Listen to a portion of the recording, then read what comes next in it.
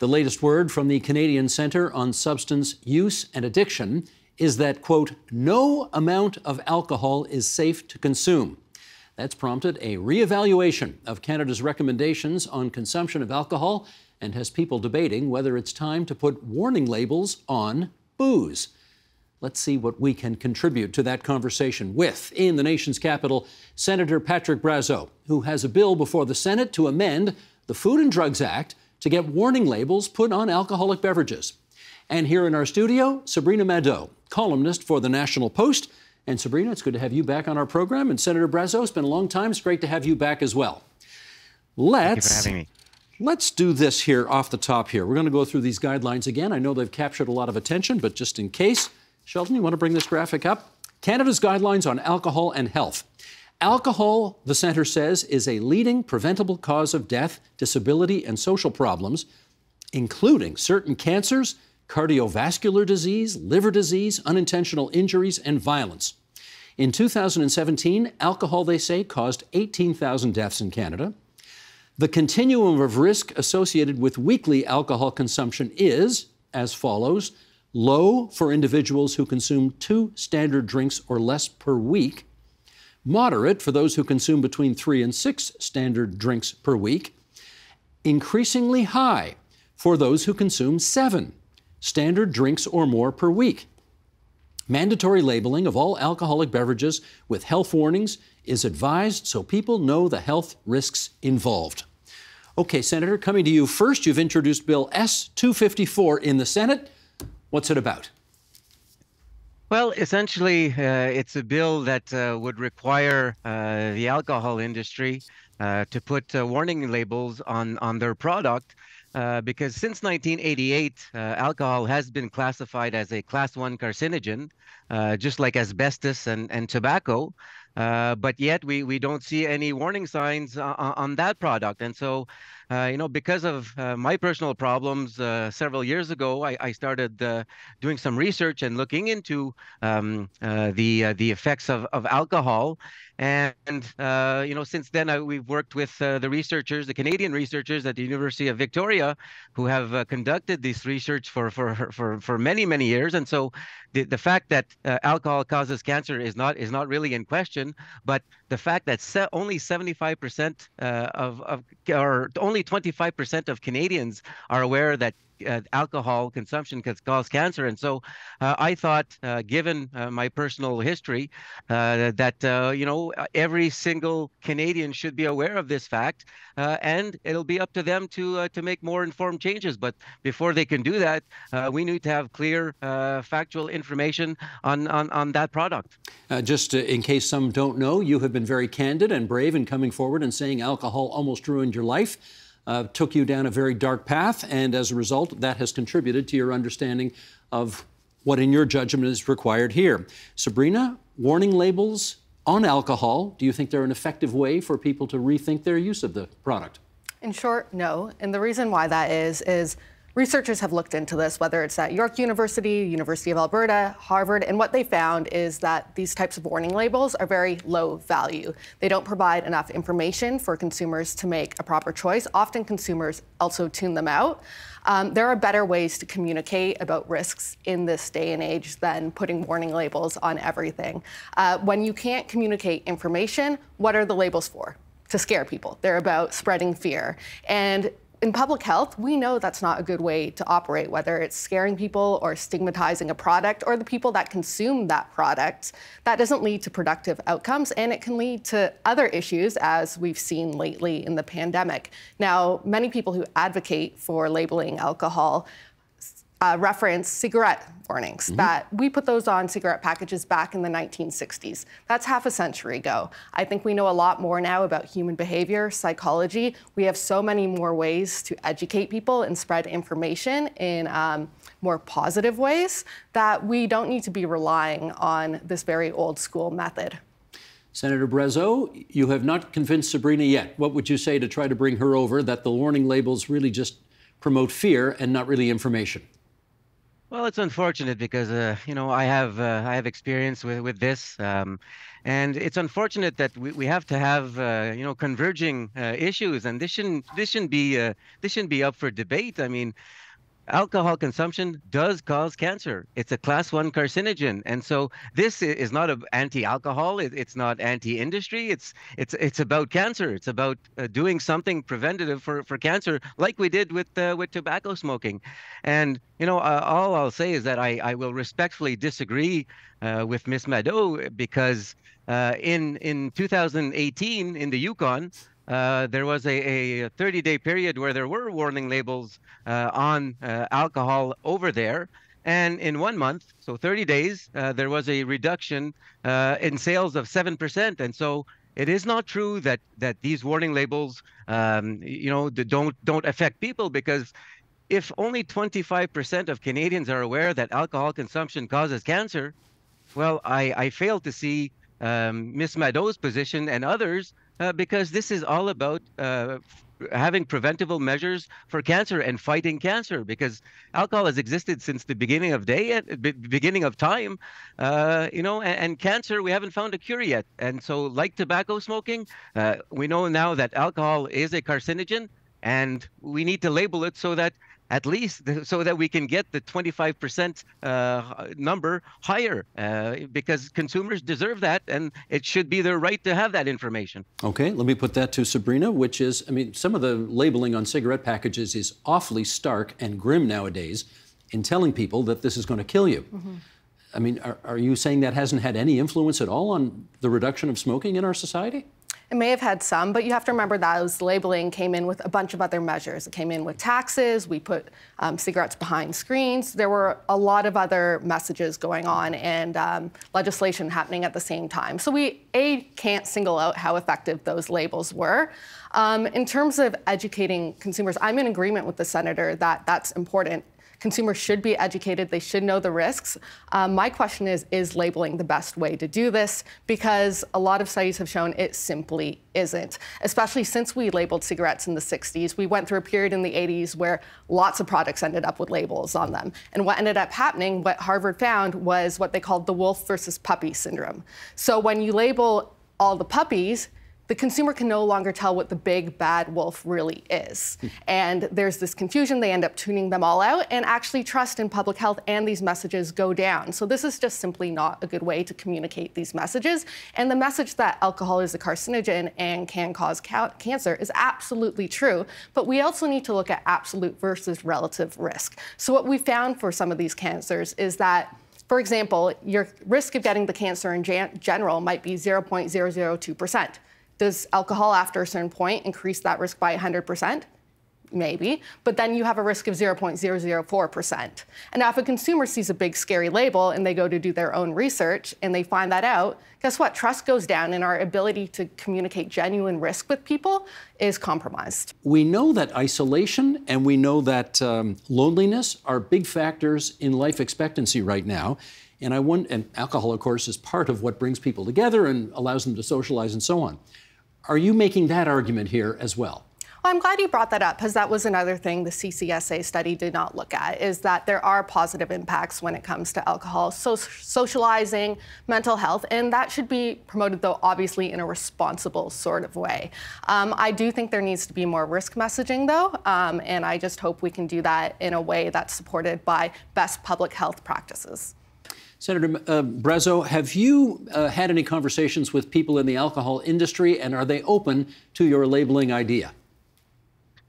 Uh, actually, um, I have uh, had none uh, to date. Um, obviously, uh, there there are some people who, who have events and receptions here on the Hill for parliamentarians, but I don't I don't participate in those.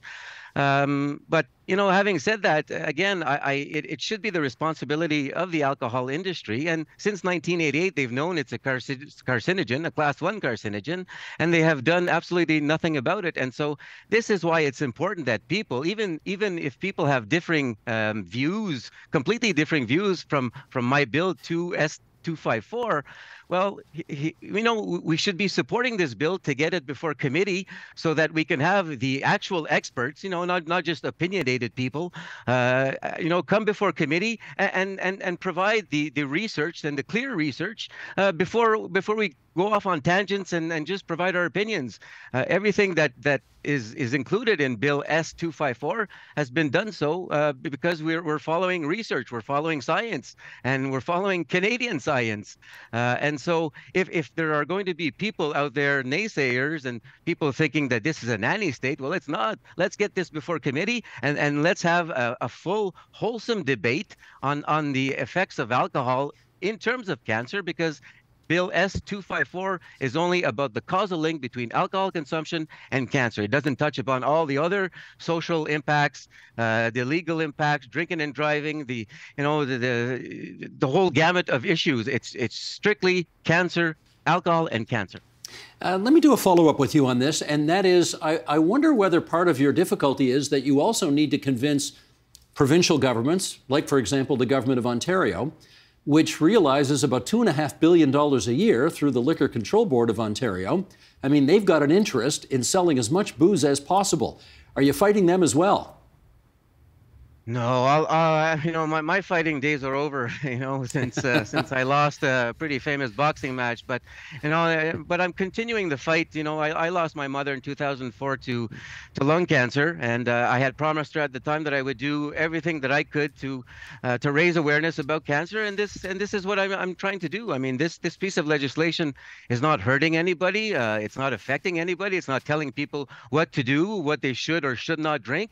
You know, because the CCSA provided advice. So advice, you, you could take that advice or you could leave it.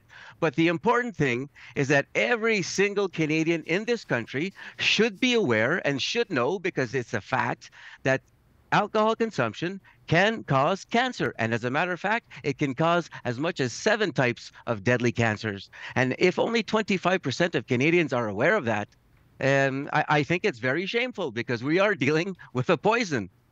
Uh, you, you, referenced your fighting days being over, and in case anybody missed the reference, that's the reference to the very famous boxing match you had with the guy who turned out to be the current Prime Minister of Canada, and we understand that you're not in the ring anymore. Okay. Sabrina, I want to ask you about the uh, piece you wrote in the National Post in which you called the study that has been referenced here fatally flawed in favor of fear mongering. Now, besides good alliteration there, why did you come to that conclusion? Uh, because the study uh, led with all these very scary graphics, again, about no amount of alcohol being safe, drastically reducing the alcohol guidelines, and basically telling people if you drink, you're going to get cancer. I had people messaging me, good friends, thinking they were literally going to die because they've been having a glass of wine with dinner twice a week for the last few years. And that is not productive messaging, especially when these people find out that's not exactly true. When you dive into the full 89 page report, in the CCSA, this is directly from their report, they said publicly, we've been combing through 6,000 sources. Well, okay, that means there are 6,000 sources in general. What you find out in the fine print is that only 16 of those sources were actually ultimately used because some of those 6,000 were duplicates of one another outside the scope. They were biased. So we're only working with 16 sources. And then you keep reading down these 89 pages and you find out that the CCSA themselves say they couldn't assess the risk of bias, that they say that unsurprisingly, the quality of these sources were low, and they also didn't take into account confounding factors. So when we're looking at the lifetime risk of alcohol, and we're looking at people who are probably older and who have since been diagnosed with cancer and possibly tragically passed, and we're saying, okay, these people have been drinking their whole lives, well, they were probably drinking in smoky bars. There are other lifestyle um, influences that come into effect, and because of ethics reasons, they can't do blind test trials where they say don't drink to some people and drink a lot to others. That's obviously unethical. So the reality is, we don't really know. And the problem is the messaging from the CCSA is so much more certain well, and me, so much more scary than the evidence they actually have. Let me pick up on that because you said this is not productive messaging. Yes. What would be more productive messaging in your view? I think we encourage more transparent conversations. So rather than coming out with these very definitive statements that maybe can be backed up and maybe not, we do public messaging campaigns. We don't just have a highlight scary thing. In terms of labels, that's the problem too. You end up with one line or a big scary image. I would like to see more education in schools. I would like to see PSAs that approach this message in a more in-depth sort of way. Public service announcements. Public service announcements, absolutely. And I absolutely think that we should also support more people when it comes to substance abuse and addiction and provide more supports and education in those areas. Senator, there is a, I think it's fair to say, a widely held view in society that alcohol while acknowledging the dangers, is a socially acceptable way to change your brain, if I can put it that way, whereas there are some other things in society which are not.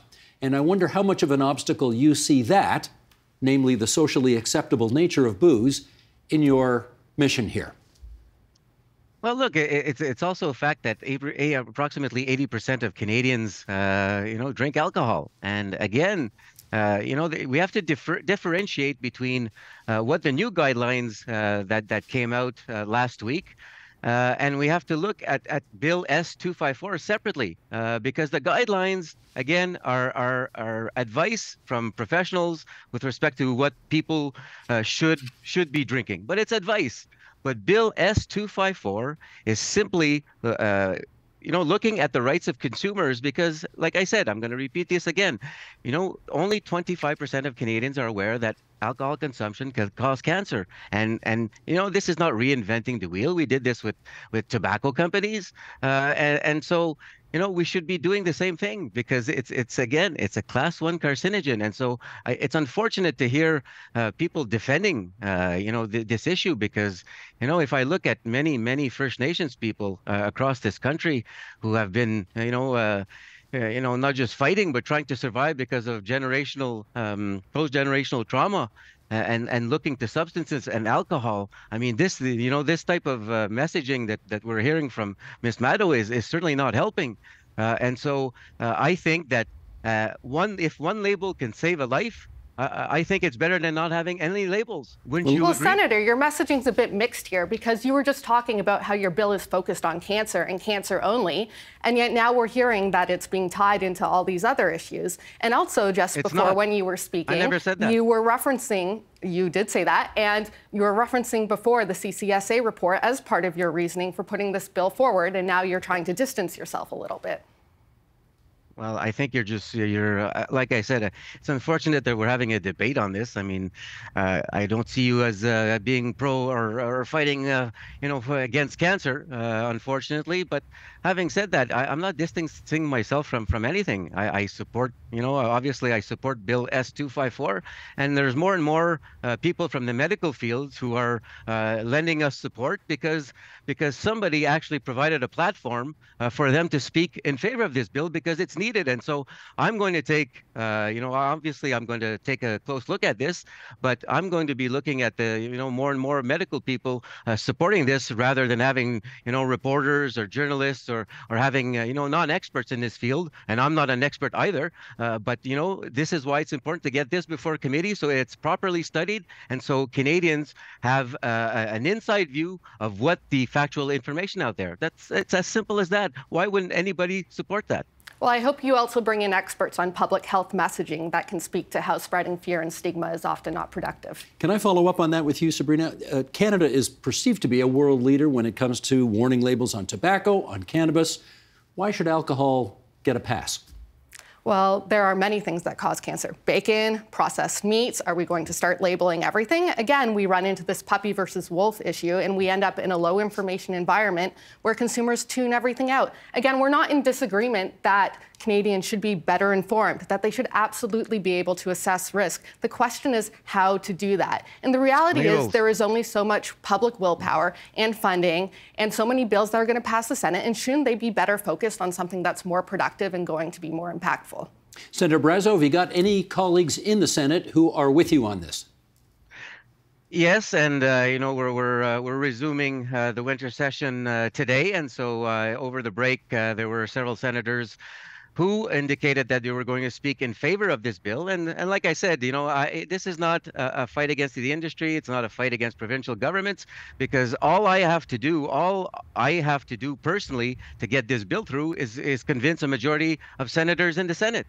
Uh, you know, that's that's all I can do. I, I can't guarantee it would pass in the House of Commons. That's hypo- hypothetical. But my and you know my my job is to convince a majority of senators. And if the majority of senators uh, decide at some point that uh, this bill is, is not uh, deemed to or you know shouldn't be passed, uh, then we'll, we'll communicate it, that in the future. But you know there's work that has to be done, and uh, hopefully we're going to get this passed, get it before committee, and uh, study it properly for the benefit of all Canadians and all Canadian consumers. Well, one thing we love on this program is a good, vigorous, yet civilized debate. And we just had that. So I'm grateful to you both, Senator Patrick Brazeau and Sabrina Maddeaux from the National Post. My thanks to both of you for coming on to TVO tonight. Thank you. Thank you, sir. The Agenda with Steve Paikin is made possible through generous philanthropic contributions from viewers like you. Thank you for supporting TVO's journalism.